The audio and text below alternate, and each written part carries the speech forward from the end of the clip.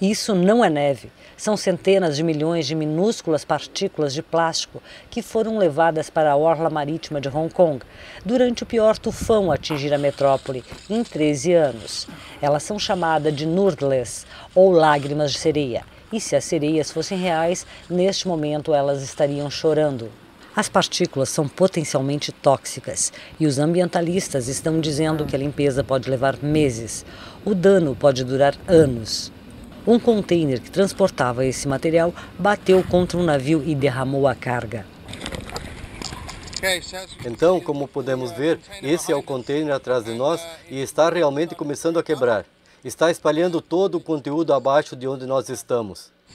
Agora, as margens estão tomadas por quase 150 toneladas de lágrimas de sereia.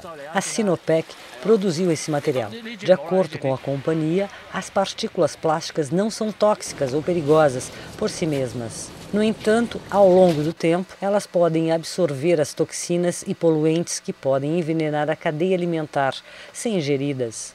Nós conversamos com o cientista-chefe, o capitão Charles Moore. Ele comentou sobre isso e disse que era realmente o pior derramamento de plástico documentado que ele já havia visto. Então é algo que é completamente sem precedentes. As pessoas não têm planos de ação sobre como limpar tudo isso e é nesse sentido que nós estamos trabalhando com o governo para tentar uma ação.